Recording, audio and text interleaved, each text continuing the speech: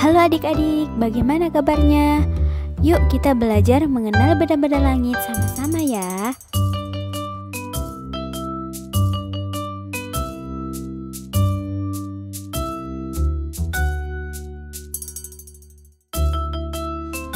Adik-adik, di sini bisa kita lihat ada benda-benda langit yakni matahari, awan, bulan, dan juga bintang.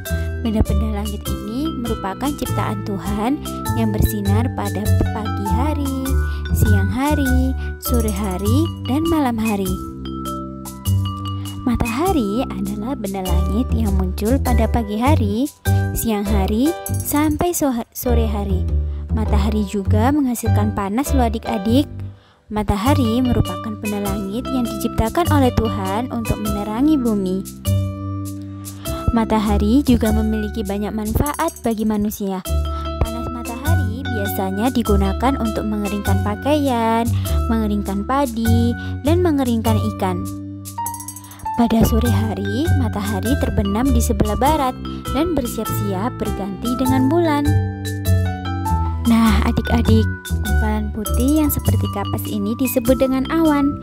Awan terbentuk dari air laut atau air sungai yang menguap sehingga membentuk gumpalan putih menyerupai kapas di langit. Awan memiliki bentuk yang berubah-ubah dan tidak beraturan. Awan muncul di siang hari maupun di malam hari. Benda langit yang ini namanya bulan adik-adik. Bulan ini munculnya di malam hari. Bulan juga bentuknya macam-macam loh. Ada bulan purnama yang bentuknya lingkaran penuh, ada bulan sabit, bulan paruh, dan bulan cembung. Bulan ini cahayanya berwarna kuning loh adik-adik. Benda langit ini bernama bintang.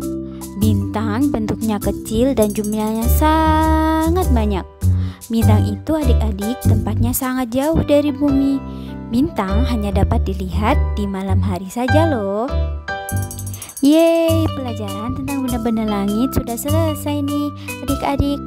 Tetap semangat belajarnya ya. Sampai jumpa lagi.